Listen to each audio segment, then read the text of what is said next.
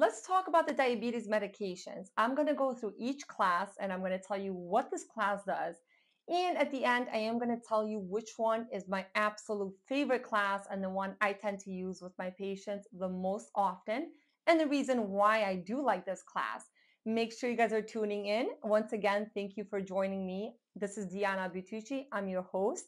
I'm an endocrine specialist. I treat diabetes all day long, and my goal is I want to help all of you worldwide manage and beat this thing together. Before we do that though, please consider subscribing to my channel if you are new.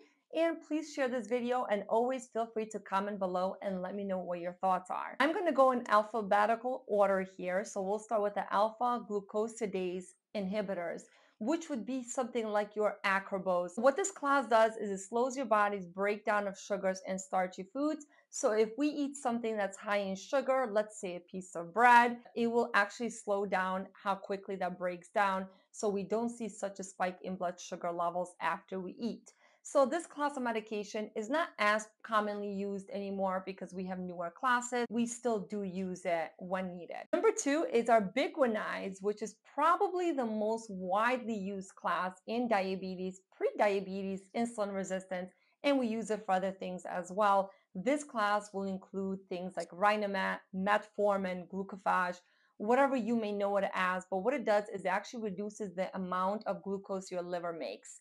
So think about it. We know that the liver produces glucose, and that's how we can stay alive during the night without needing to eat all night long. Or we can go on for a couple days without having food. We know that people have been able to survive, and that's because the liver is producing glucose. With diabetes, we know that people are a little too sweet, anyways. They don't need this extra release from the liver. And what this class does is it tells the liver to take a back seat and slows down some of that release. And that's why we see our glucose levels drop when we are taking this class of medication.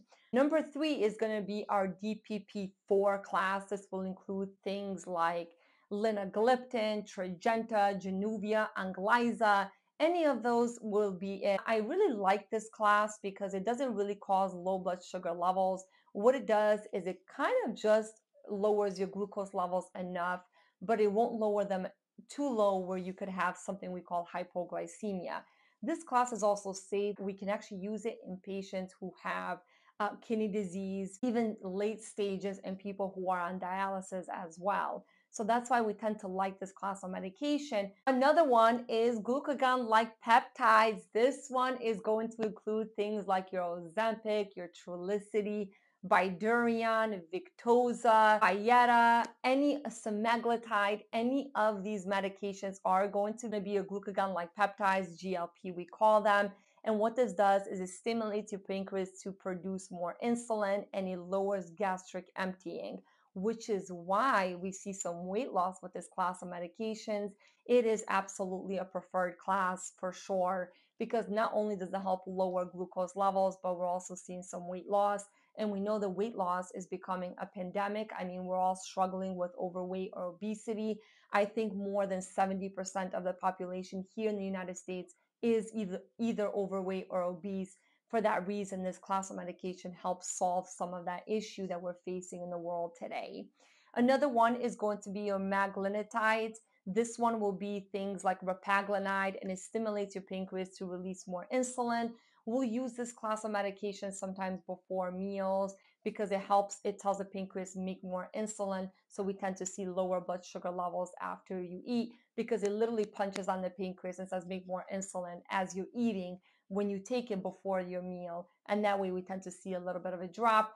I don't use this class of medications very much. It's not a very smart or preferred medication that I like to use because the risk of low blood sugars is very great. And of course, the number one thing we're always trying to avoid is a low blood sugar. We know how dangerous a low blood sugar levels can be. For that reason, we try to be very cautious, but it is a medication that I do use sometimes if I really have to and I'm out of options. Another one is SGLT2 inhibitors. This will be like your Jardiance, your Farxiga, your Steglatro. And what it does is it releases more glucose into the urine. So we literally are urinating or peeing out more sugar. Um, that's why sometimes the urine can be a little bit foamy or have a sweet smell to it. this class of medication is great because it not only helps lower glucose levels, it can actually help lower blood pressure levels as well, and it helps protect the kidneys and the heart. So this class is absolutely great. And of course, we know that uh, mo- mostly all diabetics do struggle with having high blood pressure as well. So now we can lower blood pressure and lower blood sugar levels all in the same time. Sulfonylureas is another class. This would be things like your glipizide, your glimepiride, glyburide, Amaryl, any of those names that you may know. It stimulates your pancreas to release more insulin. Try not to use this class unless I really have to. This is similar to the meglitinides. It kind of just tells the pancreas to release more insulin, but it's not really specific and it can release more insulin at any given time. So therefore, your sugar can be low and it can actually tell the pancreas to release more insulin. Now your sugar can go even lower. The last one is thioglitazones. This would be things like Actos, pioglitazone, whichever way you may know it. And it helps insulin work better. So it helps reduce insulin resistance. I do like this class actually quite a bit. I try to use this class if I have to use it. I prefer this versus other classes. I don't like that it can cause some ankle swelling and it can cause some weight gain. For that reason, I don't really use this class as much. So um, these are all the diabetes classes that we have. I did not include insulin in this case. I only included the oral agents, but I do have videos on insulin, so feel free to check those out.